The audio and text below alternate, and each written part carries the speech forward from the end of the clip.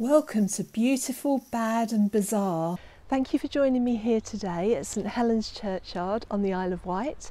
It's an absolutely gloriously beautiful day and I'm looking forward to showing you around. Today we're visiting the grave of the actress Valerie Gaunt.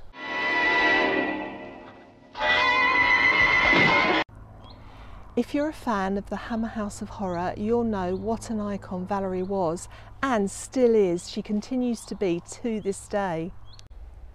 Valerie set the standard of beauty, which is often referred to as Hammer glamour. Valerie Sheila Gaunt was born on the 26th of June 1932 in Warwickshire the only daughter of a wealthy businessman, she was educated at an exclusive boarding school and soon secured a place at the Royal Academy of Dramatic Art with an overriding passion for theatre. Valerie graduated in 1951, moving straight into rep. She began appearing in a succession of stage productions, gaining enviable reviews. One of her many roles included the second Mrs. De Winter in Daphne du Maurier's Rebecca in 1954. In 1956, Valerie made two television appearances.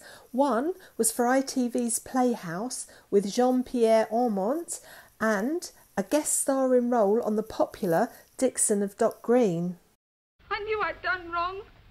I did try to put it back. But it was to be two brief appearances on film that would make Valerie Gaunt a gothic horror icon. Valerie was spotted while appearing on Dixon of Dock Green by director Terence Fisher, who worked for Hammer Film Productions. He wanted Valerie for the role of Justine in the horror The Curse of Frankenstein, playing alongside Peter Cushing and Christopher Lee. The movie and Valerie was a total success, which was swiftly followed by the film The Horror of Dracula in 1958. Mr. Harker, you will help me? If it's at all possible. In Dracula, Valerie played a vampire and had the accolade of being the first person to bear fangs on screen, just moments before Christopher Lee appears with his own blood dripping fangs out. Cinema goers were both horrified and thrilled. Terence Fisher said, the public appetite for horror was insatiable. For connoisseurs of the macabre, Valerie gave it all. Her acting and beauty was terrifyingly fabulous. In 1957, Valerie was introduced to the strikingly good looking stockbroker Gerald Reddington. They were attracted to each other instantly and shared a deep religious faith. One year later, on the 17th of May 1958, the couple were married. Valerie wore her new mother in law's tiara as her something borrowed. In acting terms, Valerie once described herself as difficult merchandise. She said, I'm not a glamour girl. I haven't the right type of looks, my legs aren't long enough, and I loathe posing for cheesecake pictures. Frankly, I think my appeal is earthy rather than glossy. Let's say I look better in a barn than in a boudoir. Hammer Productions could be forgiven for thinking they had a devilishly winning team, but Valerie was becoming disenchanted. She told a reporter Five years after leaving RADA, she estimated that she'd been manhandled and beaten up more often than any other actress in the business. Plays like Johnny Belinda, No Room at the Inn, and Wuthering Heights, to name just a few, provided Valerie with one horror after another. She said she was either getting beaten, tortured, or murdered, stating, If I didn't have a death scene, I usually finished up in the lunatic asylum or a prison cell. Valerie recalled, They were good, meaty roles, the type I had always dreamed of playing, and a wonderful experience, but I didn't realise the disastrous effect they were having on my nerves. Facing Christopher Lee in his spine chilling makeup of fish scales, plastic, and undertaker's wax as Frankenstein's monster was the last straw. Gerald recalled that after the premiere of Dracula, Valerie arrived home, kicked off her shoes, and declared, Well, thank goodness that's over. I'm never working again. Valerie did give up her acting career and she never made another film, but she did continue to work. Together, Valerie and Gerald had four children. Sadly, they lost one of their sons, Adam, to a heart condition at the age of just nine years old. Gerald eventually gave up his job as a stockbroker and at the age of 45 he became an ordained deacon. Valerie directed school plays and she taught drama to children. She also recorded audiobooks for the blind. Valerie also loved art and would paint watercolour portraits of children. In 1999, the couple had relocated to Seaview here on the Isle of Wight and were both very involved with the church and the community. Sadly, in later life, Valerie battled with Parkinson's disease.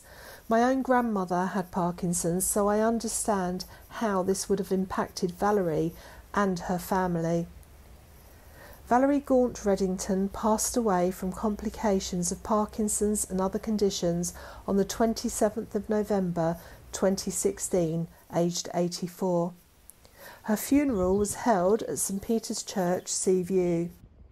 After the funeral service at St Peter's Church, Seaview, Valerie was then interred here in this pretty cemetery at St Helen's Churchyard, overlooking stunning scenery. It's a particularly warm day, and as you might hear, a little breezy too. But the atmosphere is bright and tranquil with birdsong in the air.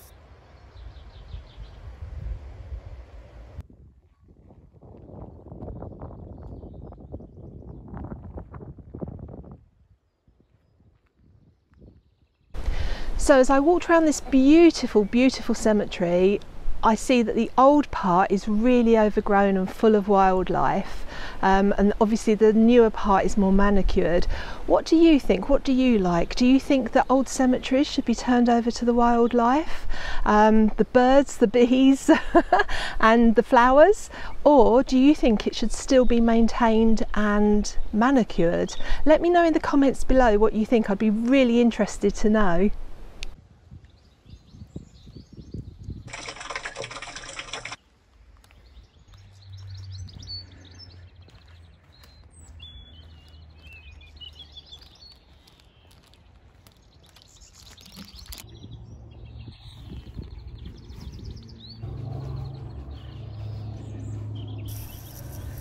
So here we are at the grave of Valerie Sheila Gaunt Reddington, finally reunited with her beloved husband Gerald, who passed away four years after his wife in 2020.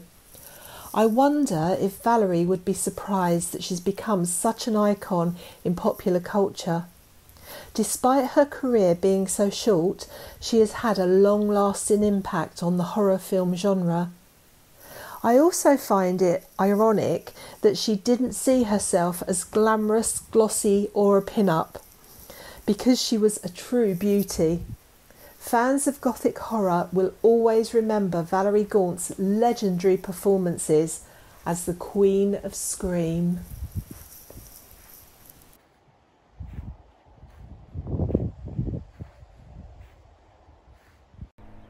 Thank you for coming on this step back in time journey with us and I hope you've enjoyed the video today and we look forward to seeing you soon in the next video.